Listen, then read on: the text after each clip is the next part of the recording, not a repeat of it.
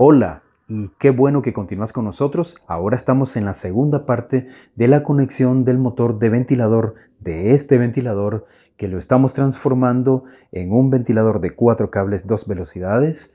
Y para vos que no has visto la primera parte, aquí en la parte superior derecha de tu pantalla te estoy dejando un enlace para que vayas a ver primero la primera parte y luego te vengas aquí a la segunda parte y así puedas comprender cómo se realiza la conexión desde cero. Vamos con el video en el paso número 3. En este tercer paso, vamos entonces a conectar ya nuestro motor a como lo indica el pequeño diagrama sencillo que les he hecho. Ahora vamos entonces a identificar nuestra bobina de 142 ohmios.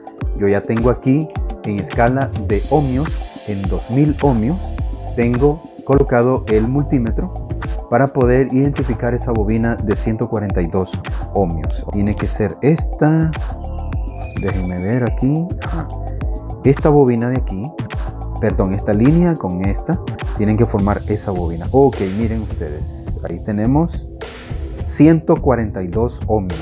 Y ahora, si ustedes se fijan, aquí tenemos la entrada. Esta es la entrada, entonces quiere decir que esta línea que está aquí es la que yo estoy buscando para empezar a realizar mi conexión. Esta línea es la que vamos a utilizar para conectar nuestra entrada de 142 ohmios de una manera muy simple, muy sencilla. Vamos a enrollar el cablecito.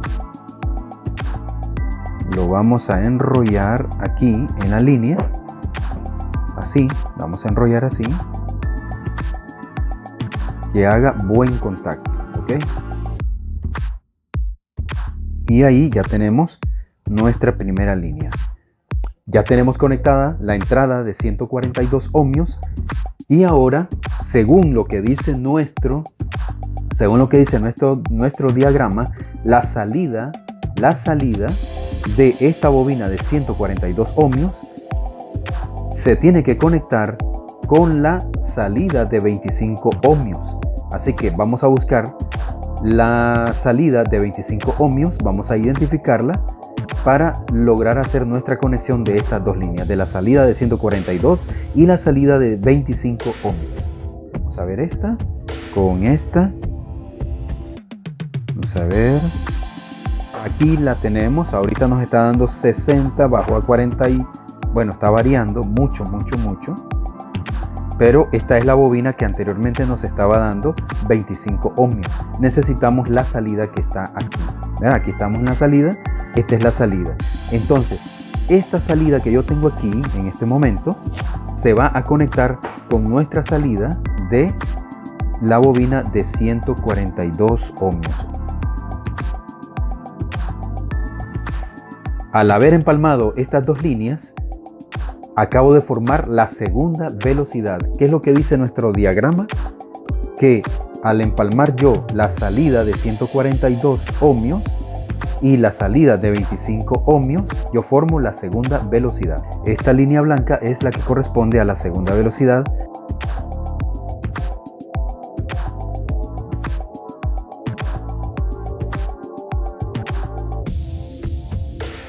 Prácticamente aquí yo ya tengo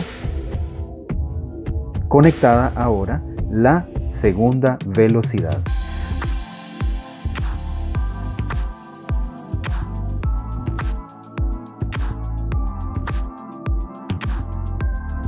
Y ahora, para formar la primera velocidad, dice nuestro, nuestro diagrama que para, formar, que para poder formar esta primera velocidad yo necesito trabajar con la entrada de la bobina de 25 ohmios eh, para conectarla con la salida de 148 ohmios.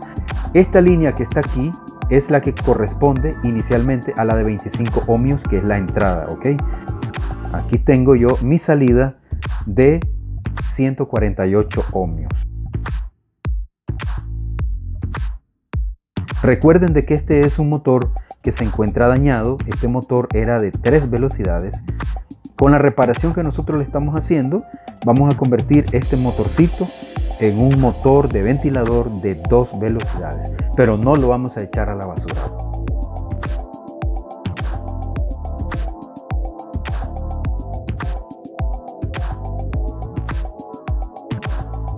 Aquí ya tenemos nuestra primera velocidad. Primera velocidad, segunda velocidad aquí en el blanco nuestra línea de trabajo está conectada aquí en el gris. ¿Ok? Y ¿cuál nos hace falta? Nos hace falta solamente esta línea que está aquí. Esta línea corresponde a la entrada. Vamos a verla. La línea que está quedando solita ahorita es la entrada, la entrada de 148 ohmios que va a ir directamente al otro extremo del capacitor, porque la, eh, en el primer extremo, ¿qué es lo que va a ir? Va a ir el cable neutro de energía eléctrica y va a ir conectada también la otra línea gris que complementa a la línea de trabajo va a ir conectada con el fusible térmico al capacitor, ¿ok? Así que esta entrada que está aquí de 148 es la línea que vemos aquí solita y que le corresponde la línea rosada.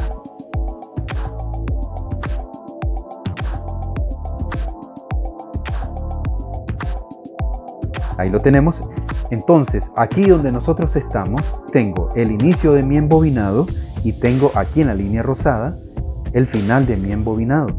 Todo esto debería de tener continuidad. Si yo ahorita tomo la lectura, me voy a ir a la escala de continuidad. No lo voy a poner en ohmios, lo voy a poner en continuidad. ¿Verdad? Ahí. ¿Escuchan el pitido? Entonces, si yo tomo continuidad aquí entre el rosado y el gris, me tiene que dar continuidad. Y ahí están viendo ustedes una resistencia, o mejor dicho, una continuidad que me da una lectura de casi 500 ohmios. Eso significa de que nuestro motor, ahí donde está hasta este momento, este motor recobró vida. ¿Ok? Este motor de nuevo tiene vida. Antes estaba dañado y ahorita ya está recuperado, pero no hemos terminado. Nos hace falta todavía qué hacer para afianzar mejor las uniones que nosotros hemos hecho aquí en nuestras líneas, voy a utilizar cable eléctrico.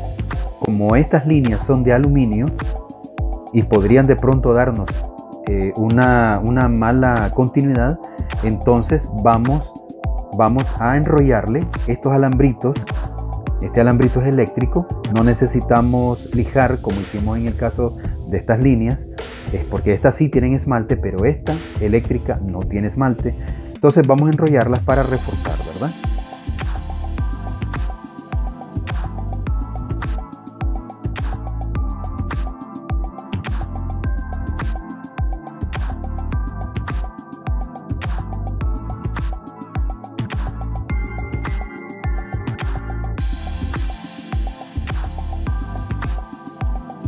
Bueno, listo, ahí hemos reforzado, ahí ya tenemos reforzadas nuestras líneas.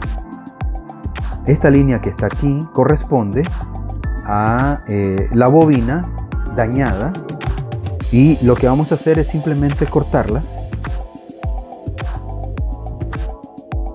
Cortar esto y cortar aquí también. Déjenme a ver si no me equivoco. Ahí, vamos a cortar ahí. Esto no, no va a hacer ningún daño, pero ya aquí ya tenemos las bobinas que, que sí van a trabajar, ¿ok? Así que vamos a colocar aislante térmico. He puesto ya sus aislantes térmicos aquí, aquí se pueden ver ya los aislantes térmicos que he colocado en cada una de las uniones que hicimos de nuestras velocidades y obviamente de nuestra línea de, eh, de nuestra línea de trabajo, de nuestra línea de arranque de la velocidad número 1 y de la velocidad número 2.